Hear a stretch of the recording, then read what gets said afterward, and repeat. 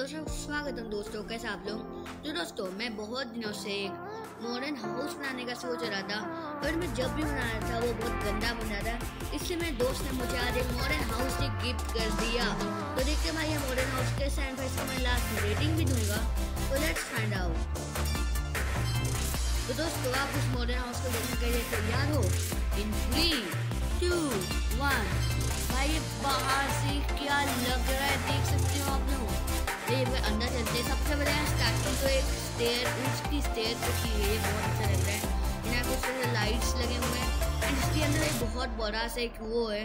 यहाँ पे दो चेस्ट भी रखे हैं। यहाँ पे है गोल्डन कैरेट और इधर पर है नदी। ये बहुत अच्छा लग रहा है। कोई इसने बनाया है।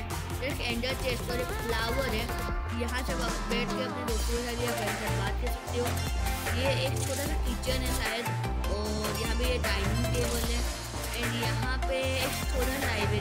बुक पढ़ने का बनाए रखा है। बहुत अच्छा लग रहा है। यहाँ एक पोर्टल भी है। तो भाई वो यहाँ पे और एक रूम है। यहाँ पे एक्वेरियम है। यहाँ पे कुछ लगे हुए बहुत अच्छा लग रहा है और यहाँ पे बम्बू से हुए तो भाई बहुत अच्छा लग दे रहा है। तुम कहाँ रहे हो? और यहाँ पे एक फ्लावर लगे हुए बहुत अच्छा लग रहा है। दोस्तों हम चलते हैं सेकेंड फ्लोर में। दोस्तों सेकंड फ्लोर कुछ इस तरीके का है। यहाँ पे एक छोटा सा बालकनी टाइप बना हुआ है। और यहाँ के यहाँ पे तो कुछ लीव्स लगे हुए हैं और यहाँ पे दो फ्लावर पॉट्स इसके अंदर भी एक एक्वेरियम जिसे आप देख सकते हो।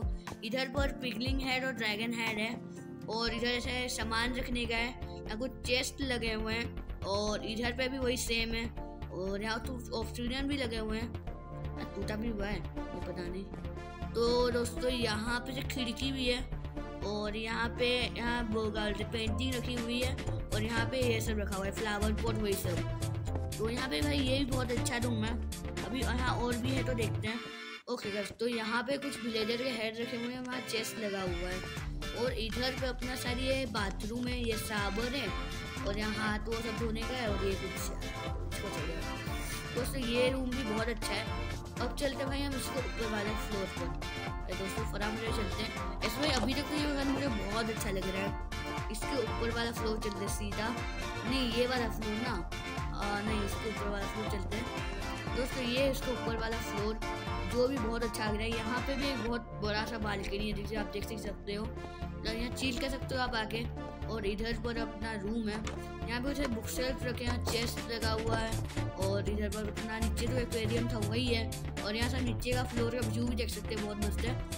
दोस्तों, चलते हम लास्ट फ्लोर में, वो कैसा देखते हैं। तो दोस्तों लास्ट फ्लोर तो बिल्कुल भी खाली है, बिल्कुल खाली है मतलब। ओके। बट यार, ये हाउस ना मुझे बहुत अच्छा लगा है। मैं इसको रेटिंग देना चाहूँगा nine point nine out of ten सच में यार, ये हाउस बहुत अच्छा था।